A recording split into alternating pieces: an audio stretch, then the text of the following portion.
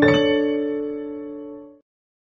大家好，欢迎大家关注大卫聊车。车主在自己的新车开了有三个月的时候，大概就会考虑去 4S 店做保养了，因为 4S 店的首次保养是免费的，大家都认为不做白不做。可是世界上真的有天上掉馅饼的好事吗？任何的店都是以盈利为目的的。如果 4S 店真的免费给新车做保养，那 4S 店的老板还能挣多少钱？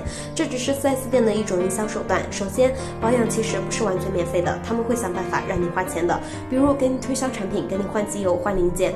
当他们给车主保养车子的时候，肯定用很便宜、质量很差的机油，然后所以他们强烈的给车主推荐好的机油，毕竟是新车，大家肯定想用好油，难免心动，然后同意换好机油，可是高价的机油，4S 店是不会免费送的，那车主也就必然要出钱补差价。新车的第一次检查是很有必要做的，毕竟是免费检查，大家趁这个机会认真检查一遍，千万不要认为车是新的就没有问题，有些汽车零件正因为是新的，才更容易出现破裂等问题，所以第一次检查是不容忽视的。不过正是因为是免费检查。谁愿意做不挣钱的工作呢？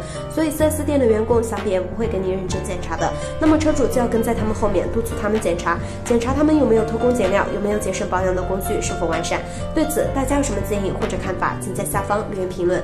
想了解更多汽车知识，别忘了点下关注哦。